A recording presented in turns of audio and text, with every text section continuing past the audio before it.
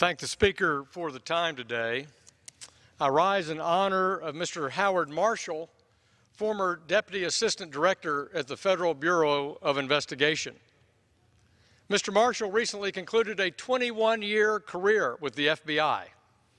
This after growing up in a household where his father, Brian, a resident of my district, was a special agent for 33 years.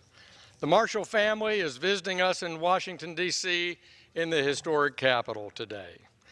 During the early stages, Mr. Marshall worked in St. Louis, Memphis, as well as at FBI headquarters, where he worked on multiple task forces and supervised a public corruption squad.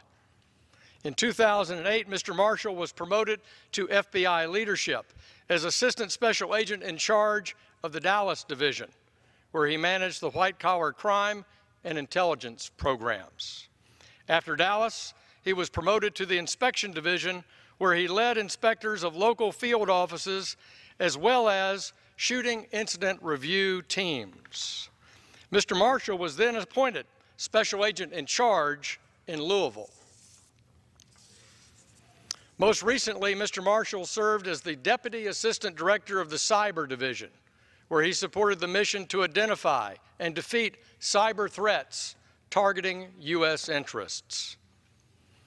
Prior to the FBI, Mr. Marshall worked for the prosecuting attorney's office in Little Rock, Arkansas. We thank Mr. Marshall and his father, Brian, for their combined 54 years of public service to the American people and their service to the FBI and all their fellow agents at the Bureau. Thank you, Mr. Speaker, and I yield back the balance of my time.